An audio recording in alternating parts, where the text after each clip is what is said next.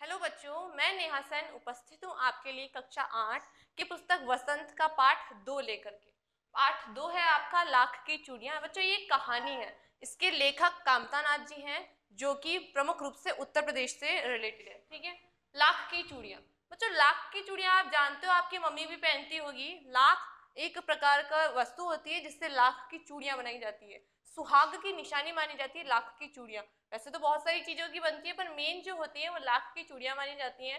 विवाह के अवसरों पर या कोई भी मांगलिक कार्य होता है तो उस मांगलिक कार्य में हमेशा जो स्त्रियाँ होती हैं, वो सुहागन स्त्रियाँ जो होती हैं, वो लाख की चूड़ियाँ ही पहनती हैं। तो आज की जो हमारी कहानी है, वो इसी पर बेस है। देखो क्या लिख, पढ़ते हैं आगे।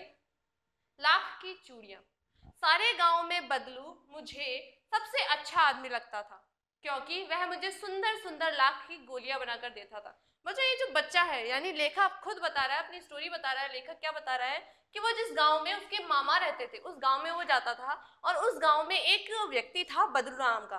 वो व्यक्ति लाख की चूड़ियाँ बनाने का कार्य करता था और वो लेखक को क्यों पसंद था? वो इसलिए पसंद था क्योंकि वो लाख की छोटी छोटी गोलियाँ, बहुत सारी रंग बिरंगी गोलियाँ उसे देता था, जो कि बच्चों को देखने में ही बहुत आकर्षक लगती हैं। तो ऐसी गोलियों के लिए जो लेखक था, वो लालायित रहता था हमेशा तो इसलिए वो उसे सबसे अच्छा लगता था।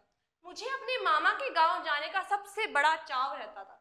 क्यों? क्योंकि जब मैं वहाँ से लौटता था तो मेरे पास ढेर सारी, क्या होती थी, गोलियाँ होती थी रंग बिरंगी गोलियाँ जो किसी भी बच्चे का मन मोह ले। वैसे तो मेरे मामा के गाँव का होने के कारण मुझे बदलू को बदलू मामा कहना चाहिए, लेकिन मैं उसे बदलू मामा ना कहकर के क्या बुलाता था? बदलू काका कहकर बुलाता था। बच्चों, आज भी अगर आप किसी परिवार में देखते हो तो जहाँ पर सबसे ज़्यादा उच्चारण किया जाता है जैसे अगर दादी को माँ कहते हैं, उनके माता पिता या आसपास के मोहल्ले वाले माँ कहते हैं तो वो माँ शब्द उनके लिए कॉमन हो जाता है। तो छोटा बच्चा जो घर में होता है, वो भी माँ ही कहेगा। वो दादी नहीं कहेगा। आप चाहे कितना ही प्रयास करके उसे दादी बुलवाना चाहो, लेकिन वो दादी की जगह माँ शब्द का प्रयोग करेगा। तो ऐसा ही यहाँ पे लेखक के साथ में हुआ, क्योंकि वो बदलू जो नाम का व्यक्ति था, वो उनके मामा के गाँव का था, और मामा के गाँव का होने के कारण वो उसका मामा कहलाया। लेकिन जब आसपास के बच्चे उसे काका कहते थे तो वो भी उसे काका कहकर ही बुलाने लगा। बदलू मामा ना कहकर बदलू काका कहा करते थे, जैसा कि गाँव के सभी बच्चे उससे कहा करते थे। बदलू का मकान कुछ ऊँचे पर बना था।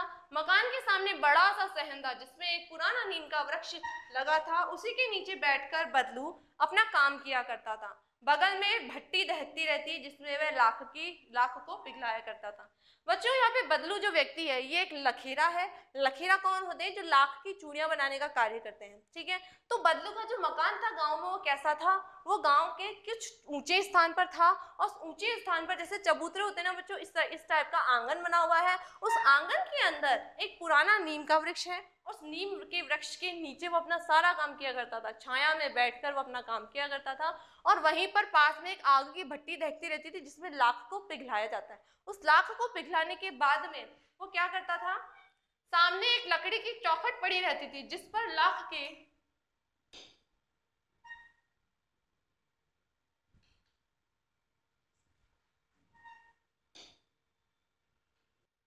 मुलायम होने पर वह उसे सलाख के समान पतला करके चूड़ी का आकार देता था। जब वो लाख को पिघलाता था, बच्चों, आप किसी लाख लाख की चूड़ियों वाले की दुकान पे जाते हो लखेरी की दुकान पे जाते हो तो आप देखेंगे कि एक इतना लंबा तो डंडा होता है, उस डंडे के ऊपर लाख लपेटा हुआ होता है। उस लाख को आग में गर्म करके उसको पतला किया जाता है। सलाख जैसा, बिल्कुल पतला करके उसे चूड़ी का आकार दिया जाता है और फिर उस पर नग वगैरह, हीरे वगैरह लगाए जाते हैं, उसे आकर्षक बनाया जाता है। तो वही कार्य यहाँ पे कौन करता था? बदलू करता था। वो पतला करके चूड़ी का आकार देता था। पास में चार, छह विभिन्न आकार की बेलन, नुमा, मुंगेरिया रखी रहती थी, जो आगे से कुछ पतली और पीछे से मोटी होती थी। हमारी प्रत्येक जो महिला होती है, उसका हाथ का साइज़ अलग अलग होता है। उस हाथों के अकॉर्डिंग वहाँ पर बेलन, नुमा, जो मुंगेरिया थी, वो होती थी। उनको सांचे में ढाल करके वो उनका आकार बनाता था। प्रत्येक स्त्री के हाथ के साइज़ से वो चूड़ियाँ बनाया करता था। लाख की चूड़ी का आकार देकर वह उन्हें मुंगेरियों पर चढ़ाकर गोल और चिकना बनाता। और तब एक एक कर पूरे हाथ की चूड़ियाँ बना चुकने के बाद वह उन पर रंग करता था। बदलू ये कार्य सदा ही एक मछिए पर बैठकर किया करता था। बच्चों मछिए क्या होता है? खाट जो होती है, गाँव में बिछाई जाती है, जो कि अलग अलग प्रकार के जो निवार होती है, उससे बनाई जाती है, उसे मछिया कहते हैं। तो हमेशा वो जो कार्य किया करता था, वो मछिए पर बैठकर किया करता था, जो बहुत ही पुरानी थी। बगल में ही उसका हुक्का रखा रहता था, जिसे वे बीच बीच में पीता रहता था। हुक्का, पहले के जमाने के जो, आज के लोग जो सिगरेट बीड़ी वगैरह पीते उस समय हुक्का पीते थे, ठीक है? बगल में ही उसका हुक्का रखा रहता था, जिसे वे बीच बीच में पीता रहता था। गाँव में मेरा दोपहर का समय अधिकतर बदलू के पास बीतता। वह मुझे लला कहता और मेरे पहुँचते ही मेरे लिए तुरंत एक मछलियाँ मंगा देता। यानी जैसे ही लेखक वहाँ जाता, वो उसके लिए तुरंत एक और खाट मंगवा लेते थे। फिर है मैं घंटों बैठे बैठे उसे इस प्रकार चूड़िया बनाते देखता रहता। लगभग रोज ही वह चार छह जोड़े चूड़िया बनाता। पूरा जोड़ा बना लेने पर वह उसे बेलन पर चढ़ाकर कुछ क्षण चुपचाप देखता रहता। मानो वह बेलन ना होकर किसी, ना वधु की कलाई हो। यानी जिस प्रकार कलाई में, हाथ में चूड़ियाँ चढ़ाई जाती है, उस अकॉर्डिंग वो देखता था कि सारी चूड़ियों का आकार सही है या नहीं। बल्लू मनिहार था। मनिहार यानी चूड़ियाँ बनाने की, बनाने वाले जो होते हैं, उनकी प्रजाति को मनिहार कहा जाता है, जाति को मनिहार कहा जाता है। चूड़ियाँ बनाना उसका पैतृक पेशा था। पैतृक पेशा क्या होता है? जो पीढ़ी दर पीढ़ी कार्य होता रहता है मतलब वो पीढ़ियों, उसके जो दादा थे, उसके जो पापा, दादा, परदादा जो थे, वो सब यही कार्य किया करते थे। तो वो भी वही कार्य कर रहा तो ये क्या हो गया बेटा? बच्चों, पैतृक पेशा हो गया उनका। और वास्तव में वह बहुत ही सुंदर चूड़िया बनाता था। उसकी बनाई हुई चूड़ियों की खपत भी बहुत थी। खपत यानी कि बहुत जल्दी उठ जाती, बहुत जल्दी बिक जाती थी उसकी चूड़ियाँ। उस गाँव में तो सभी स्त्रियाँ उसकी बनाई हुई चूड़ियाँ ही पहनती थी। आसपास के गाँवों के लोग भी उससे चूड़ियाँ ले जाते थे। उस गाँव की जितनी भी महिलाएँ थी, वो सभी महिलाएँ बदलू के द्वारा बनाई गई चूड़ियाँ ही पहनती थी। परंतु वह कभी भी चूड़ियों के, को पैसों से बेचता न था, लेकिन वो चूड़ियों के पैसे नहीं लेता था। उसका अभी तक वस्तु विनिमय का ही तरीका था, अर्थात जिस जिस महिला को चूड़ी की आवश्यकता होती थी, वो चूड़ी के बदले उसे कुछ ना कुछ वस्तु दे दी थी जैसे अगर उसने चूड़ा बेचा तो चूड़े की जगह अनाज ले लिया, या कोई ऐसी चीज़ उसकी आवश्यकता के अनुसार हो तो ऐसे वो वस्तु विनिमय किया करता था। लोग और लोग अनाज के बदले उसे चूड़िया ले जाते थे। बदलो, स्वभाव से बहुत सीधा था। मैंने कभी भी उसे किसी से झगड़ते नहीं देखा था। लेखक कह रहा है कि बदलू जो व्यक्ति था, वो बहुत सीधा था। उसने कभी किसी से झगड़ते हुए उसको नहीं देखा था। हाँ शादी विवाह के अवसरों पर वह अवश्य जिद पकड़ जाता था। यानी वो जो कमाई मतलब जिन चूड़ियों का वो कोई मोल नहीं लेता था, शादी शादी और ब्याह के अवसर पर वो सारी कसर निकाल लेता था। मतलब जीवन भर चाहे कोई उससे मुफ़्त चूड़ियाँ ले जाए, परंतु विवाह के अवसर में सारी कसर निकाल लेता था, आखिर सुहाग के जोड़े का महत्व ही और होता है। मतलब वो विवाह के अवसर पर जब अपने चूड़ों का विनिमय करता था तो उन चूड़ों के बदले वो मनमानी राशि वसूल करता था। मुझे याद है मेरे मामा के यहाँ किसी लड़की के विवाह पर जरा से किसी बात पर बिगड़ गया और फिर उसको मनाने में लोहे लग गए थे। लोहे लग गए थे मतलब भरपूर प्रयास करना पड़ा था उसको मनाने के लिए।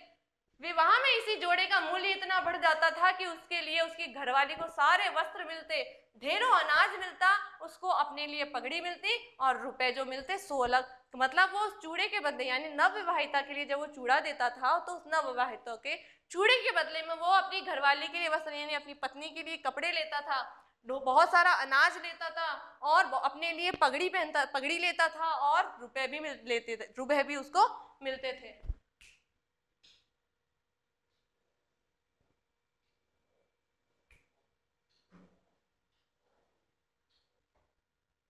यदि संसार में बदलू को किसी बात से चिढ़ थी तो वह थी कांच की चूड़ियों से। अगर वह किसी महिला को कांच की चूड़ी पहनते हुए देखता था तो उसके तन बदन में आग लग जाती थी। उसको बहुत बुरा लगता था कि ये महिला ने कांच की चूड़ियाँ क्यों पहनी है?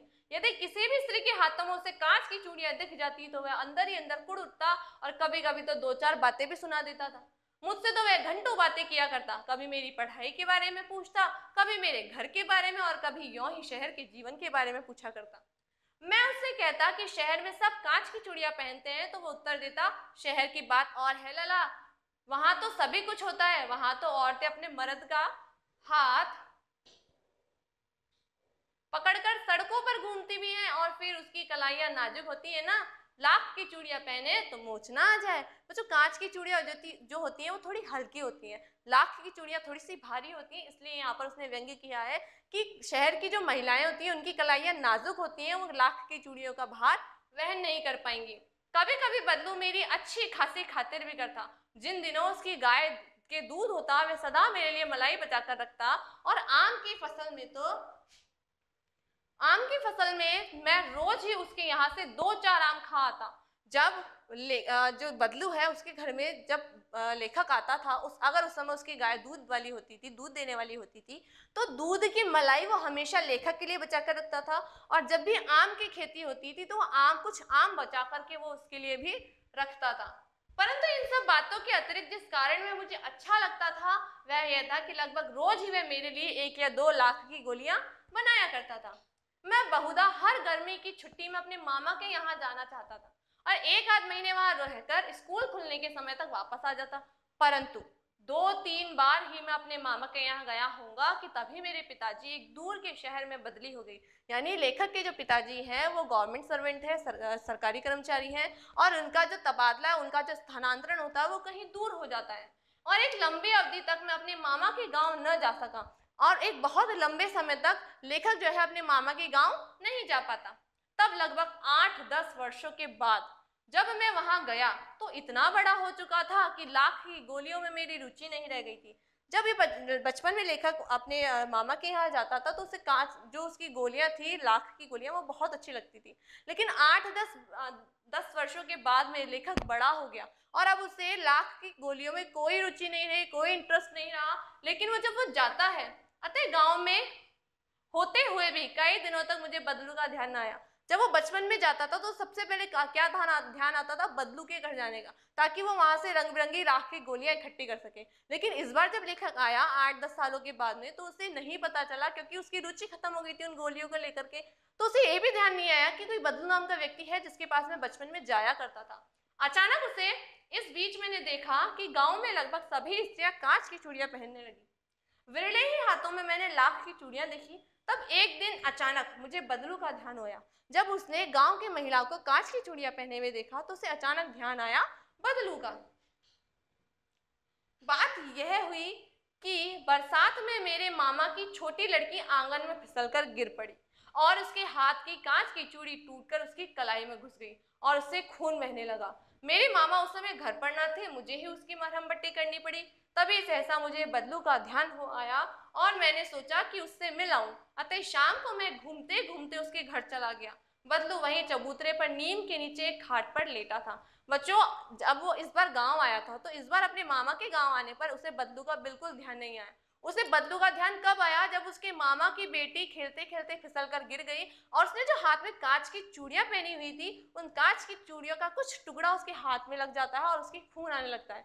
इस अवस्था को देख करके कांच की चूड़ियों की तुलना उसने जब लाख की चूड़ियों से करी, तब उसे बदलू का ध्यान आता है और वो बदलू से मिलने के लिए निकल पड़ता है। जब वो बदलू से मिलने जाता है तो वो बदलू अपने घर में एक नीम के वृक्ष के नीचे खाट पर लेटा हुआ है। नमस्ते बदलू काका। मैंने कहा, लेखक ने नमस्ते कहा बदलू काका को।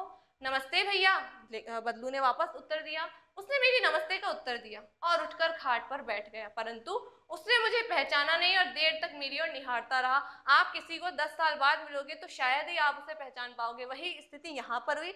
जब लेखक दस साल बाद वहाँ पर आता है गाँव में और बदलू से नमस्कार करता है तो बदलू उसे नहीं पहचान पाता है। मैं हूँ जनार्दन काका।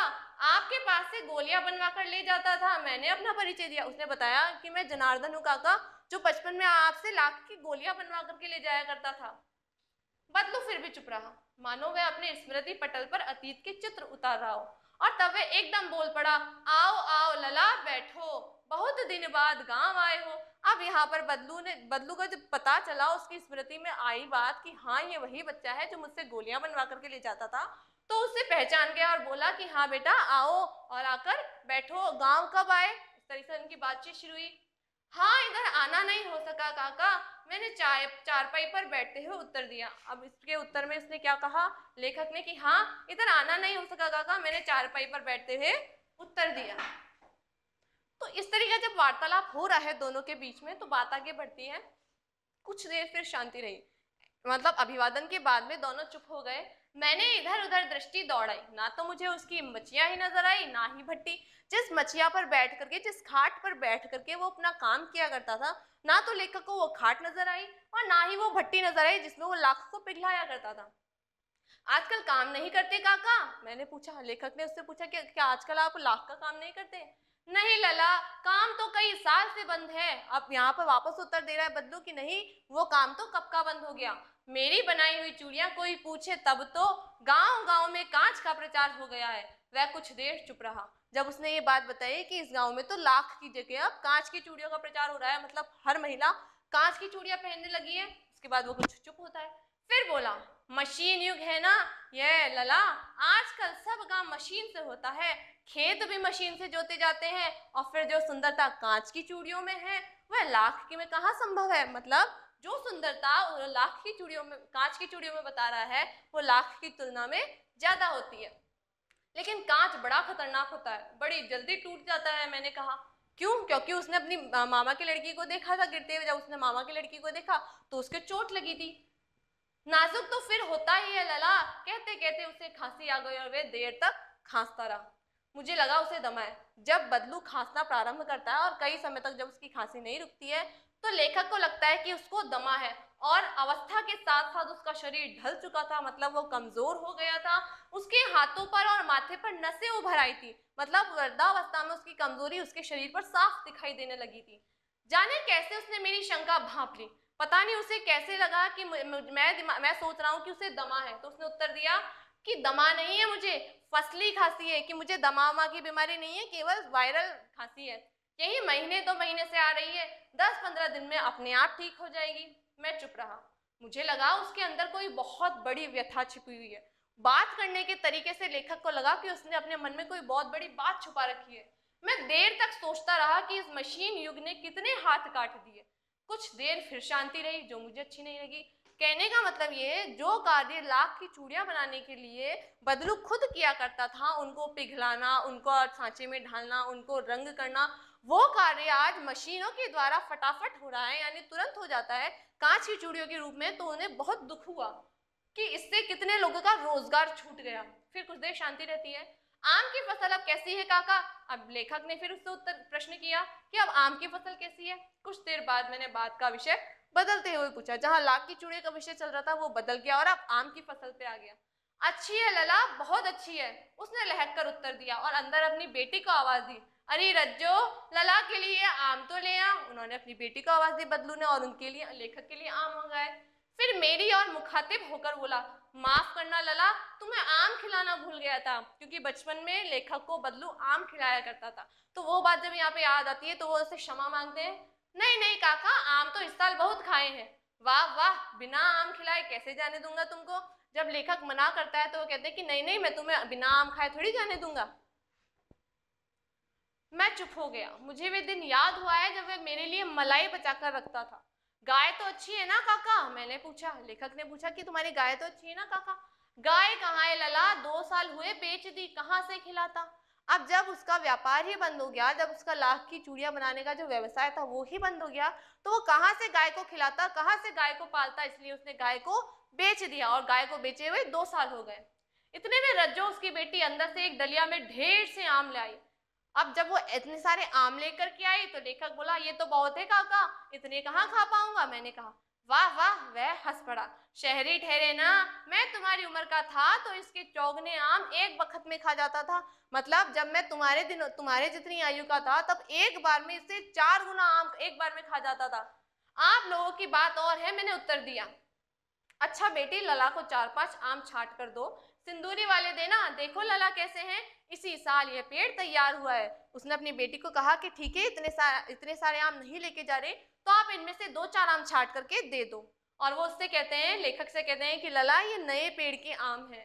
रज्जो ने चार पाँच आम अंजलि में लेकर मेरी और बढ़ा दिए। अंजलि में लेकर यानी हाथों में ऐसे अंजलि बना करके उसकी ओर आगे कर दिए। आम लेने के लिए मैंने हाथ बढ़ाया तो मेरी निगाह एक क्षण के लिए उसके हाथों पर ठिटक गई। गोरी गोरी कलाइयों पर लाख की चूड़ियाँ बहुत ही फब रही थी। माना कि गाँव की सारी महिलाएँ कांच की चूड़ियाँ पहनने लगी थी लेकिन उसने अपनी बेटी को लाख की चूड़ियाँ पहना रखी थी और उन लाख की चूड़ियों को देख करके लेखक स्तंभित रह जाता है। बदलू ने मेरी दृष्टि देख ली और बोल पड़ा यही आखिरी जोड़ा बनाया था जमींदार साहब की बेटी के विवाह पर। दस आने पैसे मुझको दे रहे थे मैंने जोड़ा नहीं दिया। कहा शहर से ले आओ। यानी कि उसकी चूड़ी की बहुत की, कम कीमत लगाई गई थी। मैंने आम ले लिए और खाकर थोड़ी देर पश्चात चलाया मुझे प्रसन्नता हुई कि बदलू ने हार कर भी हार नहीं मानी थी। उसका व्यक्तित्व कांच की चूड़ियों जैसा न था कि आसानी से टूट जाए। मतलब जहाँ गाँव में प्रत्येक महिला के हाथों में कांच की चूड़ियों ने स्थान ले लिया था, वही बदलू द्वारा बनाए गए आखिरी जोड़े के जब जमींदार ने कम कीमत लगाई तो उसने वो चूड़ा उसे नहीं बेचा और कहा, जाके शहर से लिया आओ। इस तरह उसने अपने व्यक्तित्व को मरने नहीं दिया। और यहाँ पर इस कहानी से जो आ, मतलब कहती है कि हमें हमारे व्यक्तित्व को स्वाभिमान को बनाए रखना चाहिए। तो ये थी हमारी कहानी कौन सी? लाख की चूड़ियाँ। आपसे फिर मिलेंगे नेक्स्ट चैप्टर के साथ। धन्यवाद।